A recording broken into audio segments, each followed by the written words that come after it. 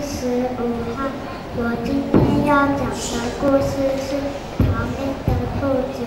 有一只猎狗，为了想让它吃一顿，正追着一只灰色的小野兔。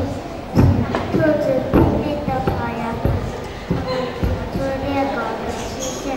猎狗追不上小兔子，只好回家去。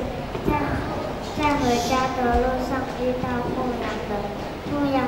人取笑猎狗说：“你是个好猎手，怎么可以跑出一只比你小的兔子？你不觉得很丢脸吗？”猎狗回答：“你忘了我是为了我的晚饭而跑，而那一只兔子是为了它的命而跑吗？”谢谢大家。好，我们谢谢十五号小。